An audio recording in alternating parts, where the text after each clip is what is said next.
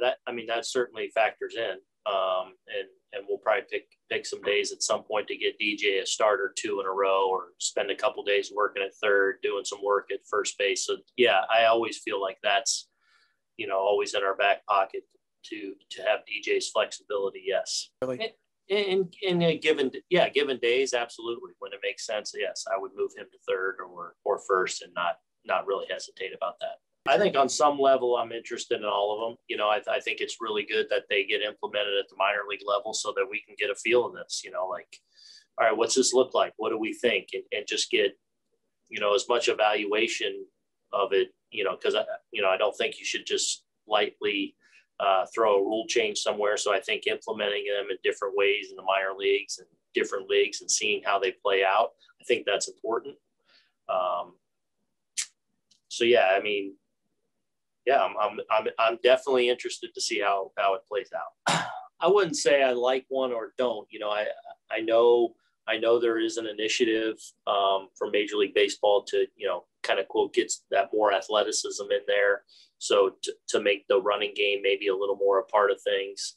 Um, so I think, you know, things are definitely coming, coming down over the next year or two that are going to be a little bit different. Um, but I think instead of just incorporating some things, I think if you have the opportunity to implement some rules um, ahead of time in the minor leagues to just to get some better information and see how it looks, see how it plays out, I think that's important. But nothing, nothing that I'm saying, oh, I love that or I hate that. It's definitely how I'd like to start.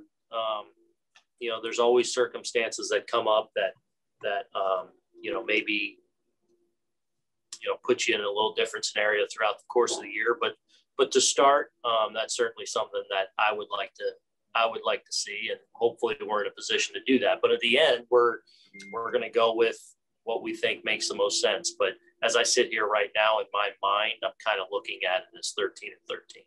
Yeah, I'm just looking. I'm looking specifically at Bruce has been so good so far, uh, but I would think you Mike Tauchman is out of options, so that you know that leaves you with some tough choices there. I wonder if that could push you, you know, in another way in, in terms of that?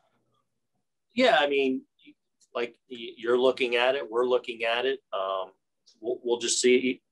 It has a way of working itself out too, and you know, while we're only a couple weeks away from from that decision, that two weeks can sometimes look to be a long time away, and things can change or evolve or declare themselves for you.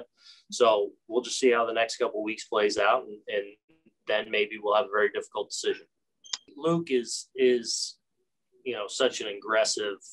I mean, the way you put it, football mentality. I mean, he's he's going 900 miles an hour, and you know sometimes on the bases he literally thinks he's going 900 miles an hour when he's going much slower. So we we do remind him to to make sure he's making solid choices on the bases.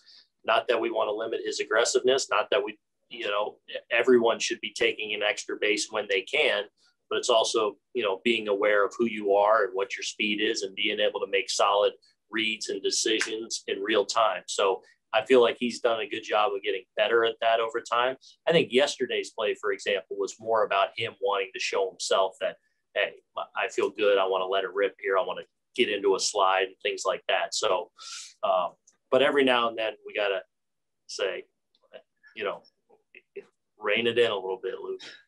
And, and that was a relief to you yesterday, Aaron, to see that. I mean, he was hustling pretty good, even the first base later. So the knee seems fine, the left knee. Yeah, and then even checking on him, obviously this morning. Um, you know, he I, I could tell he was excited about how he woke up and um, how he was feeling. He'll, he'll he should get some at bats today off Monty. Uh, you know, back at GMS.